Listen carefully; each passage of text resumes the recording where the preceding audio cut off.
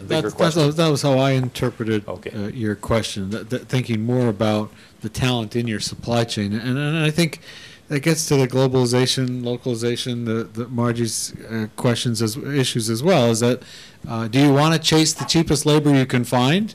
In which case, you're not investing in talent, you're investing in, in the cheap, cheap labor, or do you want to build capability and capacity in, in your people, and that means you have to stay still. It means you can't chase the cheapest labor in, in the world. It means you you you stay put, and you you you win through productivity improvement, not through low labor costs. And I think that's the story that that you're basically telling it. And I think you look at a company like Toyota. Obviously, they they've gone in the direction of we're going to build capability. You look at a company like Li and Fung, and they're, they're they've got a challenge, right? Because historically they've they've had to compete on cost and be where the low labor costs are. Increasingly, uh, I I think they're beginning to to feel the great tensions of of having trying to chase that. Do we do we move on from China to Bangladesh to Vietnam to to Burma, or do we stay put and, and follow more of this strategy? And if you do, that means you have to begin investing in your in your people in a very different way, build loyalty, build capability, win through productivity. But you still have to compete against the other guys who are going to chase the cheap labor. Not an easy game. You're allowed. Am I allowed? Sure, you're allowed. Albert, Albert produced all of these posters. Albert has been doing a lot of the background work on the supply chain in FGI, so you're, you're, you're allowed. Thanks. So all the mistakes are mine as well. Um, sorry, uh, my name's Albert. I'm I'm actually from FGI, as Donna just mentioned. And uh, I mean, I figured in terms of the the perspective for this panel, Carlos, you had mentioned that um, we're looking at a lot of risks, and as you had mentioned, that they're also fundamentally considered opportunities. So if uh, if we're taking a look at it from the firm perspective, and we're trying to evaluate where the risks and the opportunities are, and uh, if we combine those two, let's just call them change. Uh, I'd be very interested in seeing from each of your relative perspectives whether you anticipate or whether you see um, any significant changes that'll affect uh, the world of supply chains uh, in the near future, and if there's anything in particular that you have uh, a passion or a serious interest or curiosity in, um, and something that maybe would pertain to uh, the supply chain practitioners uh, and just keeping an eye on. Yeah, So up, you. up to your top three, not your top 10, but your top three. That's that's a good idea. Well, um, let me refer to a conversation that uh, a couple of weeks ago we had Charlie and, and myself in my office.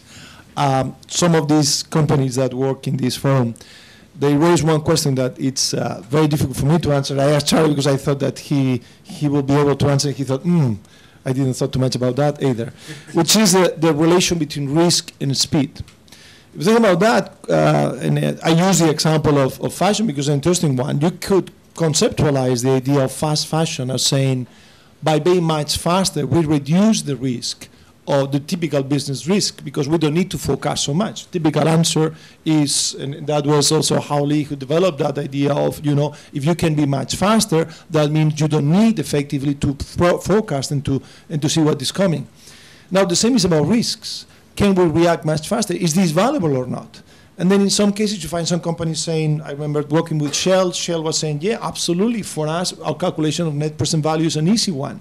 Some people were saying, well, in the pharma industry, we might need to use the option theory and Monte Carlo simulation to put that value. But there's a general question. Do we see value on that? Because in some cases, speed is more expensive. Is that an insurance policy against risk? So that's one of the, one of the first topics I see. The second, which is going to be interesting to see what's going to happen, is, and it's dealt in another forum, is I see the biggest lever, and it was mentioned yesterday also, about sustainability in supply chains. And let me explain you why.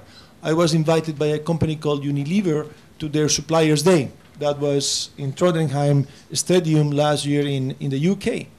Now, they had hundreds of suppliers over there, and they told them, we want you to reduce that much CO2 by that date and by this time. Now, in one go, you get hundreds of suppliers not thinking if they want to do it, but saying, our customer is asking to do it, so we have no choice. If not, they won't work with us. So I think that there is going to be a very interesting thing about is people in supply chain having the biggest leverage there, and they could do that. And um, The third thing, I think I will, I will pass on the third. I think that these two are the most important ones. So I guess my forecast for supply chain managers is it's going to get harder. that, I think, uh, so, so I, building on the speed thought, uh, is, is, the speed of change going to get any slower? Well, what drives speed of change? Well, I think one of the things is technological innovation. That is, most of your supply chains run 24-7 and your Blackberries and iPhones never stop updating you because of technological innovation. We live, the global supply, supply chains are more global because of technological innovation. Technological innovation drives speed of change and, and integration, and it's going to get, it's not slowing down the technological innovation, apropos the comments earlier about, about 3D printing and, and those kinds of things. Another thing that drives uh, speed of change is competition.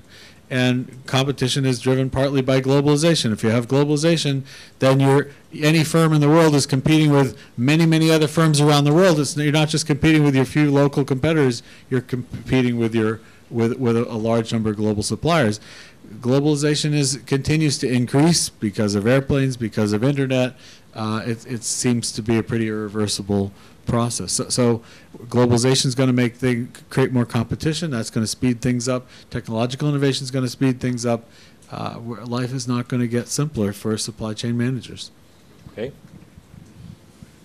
Can you cheer us up a bit, Hau? Uh, I, I just want to uh, mention that um, um, there is something called the AAA supply chain concepts, right? AAA is, uh, stands for the first A being agility, the second A being adaptability, and the third A is alignment. And I think, uh, Albert, uh, when, when we are faced with uh, risks, um, the three A concept seems to be quite applicable to me. And the first one is being uh, agility, and Carlos has mentioned that maybe sometimes speed, agility, flexibility is one way for us to both reduce risk as well as being able to respond uh, to some of the unexpected disruptions uh, faster. So it really elevates the, the importance of agility and, uh, and perhaps even the, the, the clock speed of uh, agility, using the, the term that uh, Charlie has uh, used in his book. the second adaptability is as there are more risks and there are more changes, it means that we just have to be even more alert about how to adapt, adapt your supply chain. And Carlos mentioned about the success of a company Inditex. And Inditex used to manufacture 90% uh, in, in Spain and Portugal. But over the years, they also recognized the need to adapt their supply chain. And I, the latest I learned is that now, 60% of the manufacturing is based in China. So they also adapt, even though their kind of core strategy is local manufacturing. And so adaptation is necessary. And how do you adapt well, uh, and what do you adapt to, uh, became a much bigger problem. And the third A alignment is when we have risks, no single company uh, can perhaps shoulder all the risks. So we may have to design new supply contracts and incentive systems so that uh, the right risk sharing schemes uh, and the right uh, reward sharing too. Of course, uh, risk sharing has to be commensurate with uh, reward sharing, cost sharing schemes are necessary to align the incentives of the multiple supply chain partners uh, in order for us to really have a synchronized uh, supply chain. So it seems to me that the AAA concept uh, is really uh, at the core of risk management and be responsive to risk in the supply chain. Good, thank you. Margie. That's scary. That's such a men's view. Um, I, you know, triple A, able, amiable, and available. Um, and I, I, think that I'm going to close by uh, taking this uh, from a woman's perspective on the global supply chain and say that um, it's very scary because I think very often the global supply chain looks at the supply chain um, from a um, buyer's market perspective. And it's sort of like love me and leave me. It's very scary. So I think we've got to, we have a responsibility to the communities um, where the workers are doing all the work and supplying to consumers everywhere. I think it is critical that as managers, we have the foresight of anticipating these disruptions that will definitely come uh, whether it is because of good news, economic uh, growth, therefore a higher standard of living. Uh, Penang, as you know, we're, we're struggling with um, how do we anticipate all sudden disruptions from technology?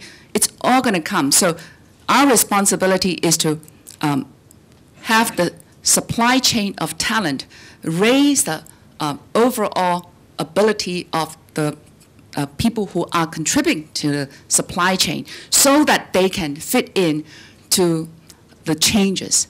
And I think that's the challenge and responsibility for all of us in the global supply chain. Uh, Excellent ending point, and I'd just like to stress that I- within the supply chain studies in FGI, clearly we're interested in risk from the viewpoint of buyers, but very much risk from the viewpoint of the people doing the work, and risk from the entrepreneurs who are making the investments in the pieces of the chain. And to broaden it out from just, will you get the stuff out at the right price, what happens to the people who have committed themselves to work in a particular place, committed themselves to learn some skills, committed themselves to build a factory. Commi- So it's commitment against this uncertainty, and how does one align the incentives and get some equity in this total commitment? So I hope we'll elevate it one level from just how do you manage the supply chain to how do you think about the supply chain as a central integrating device in how we all live. So with that, I'd like to thank our panelists. I'd very much like to thank the excellent questioners, and I think we're on time. Thank you.